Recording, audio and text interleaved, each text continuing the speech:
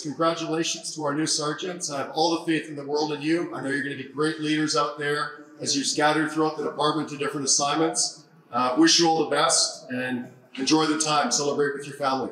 Congrats.